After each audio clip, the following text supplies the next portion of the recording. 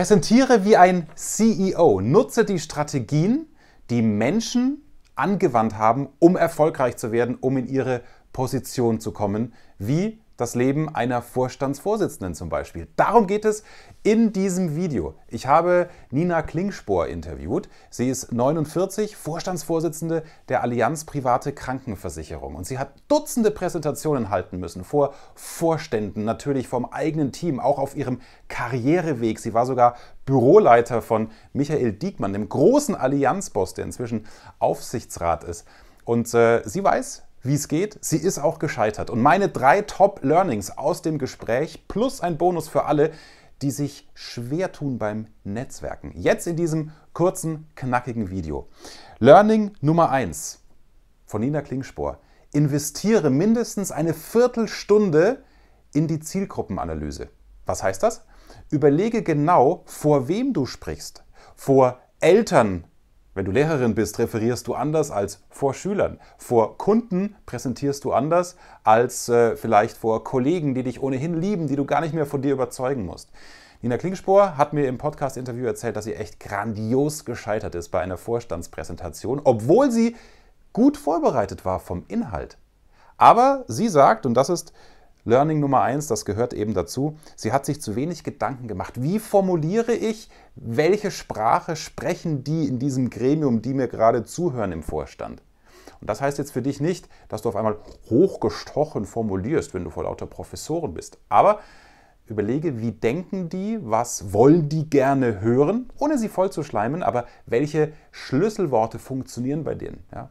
Bei Managern, ja? Effizienz und Produktivität musst natürlich alles aufladen. Aber was ist der Mehrwert für deine Zielgruppe, wenn sie dir zuhören? Da eine Viertelstunde am Anfang schon, während du vorbereitest, während du formulierst, mehr rein investieren, dann senkt das deine ja, Chance oder im Prinzip die, die Bedrohung zu scheitern. Also, das ist Learning Nummer eins. Learning Nummer zwei, Vortrag schreiben in gesprochener Sprache. Gerade wenn es was Wichtiges ist.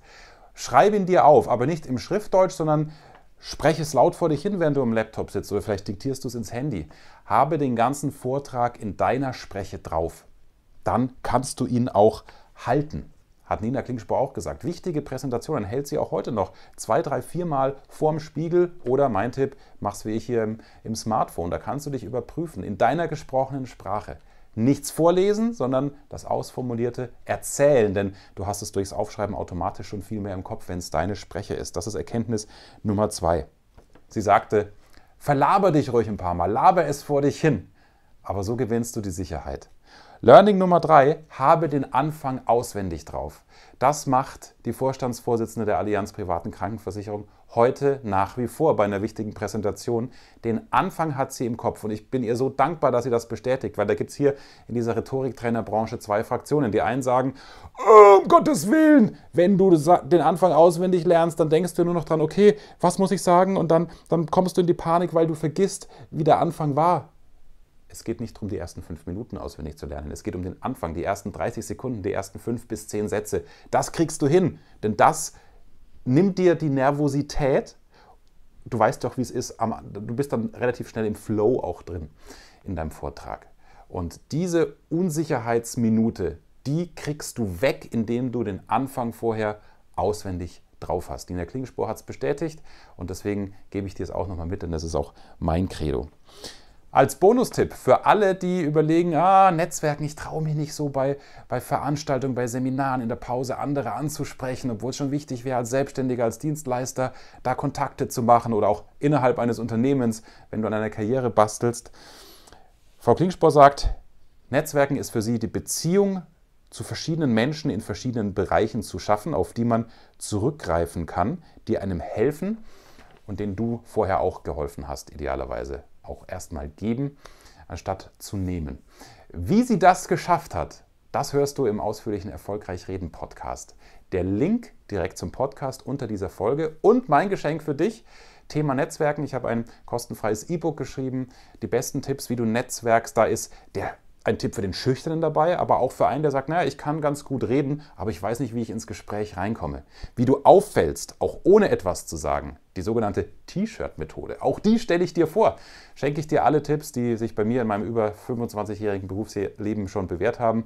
Ähm, so kriegst du deine Schüchternheit wirklich überwunden. Also der Link zum erfolgreich Netzwerken E-Book auch unten in dieser Videobeschreibung, genauso wie der Link zum Podcast. Ich fasse zusammen die drei großen Learnings, damit auch du lernen kannst, zu präsentieren wie ein CEO, wie ein Vorstand oder wie hier Vorstandsvorsitzende Nina Klingspor. Erstens, investiere eine Viertelstunde in die Zielgruppenanalyse. Wer hört mir zu? Wie kann ich Schlüsselworte nutzen, damit die auch bei mir bleiben, damit die einen Mehrwert erkennen? Zweitens, Vortrag schreiben in gesprochener Sprache und drei, viermal üben, wenn es wichtig ist, zu Hause. Ja? Und drittens, den Anfang kannst du auswendig, weil dann hast du kein Problem mehr, in den Flow zu kommen, wo du dann ja immer sicherer wirst, weil du dich dann an die Vortragssituation gewöhnt hast. Drei Top Learnings, beherzige sie und präsentiere ab sofort wie ein CEO. freue mich, wenn dir das Video weitergeholfen hat. Daumen hoch, gerne und den Kanal abonnieren. Schreib mir auch gerne in die Kommentare, inwieweit dir die Strategien helfen oder wenn du konkrete Fragen hast.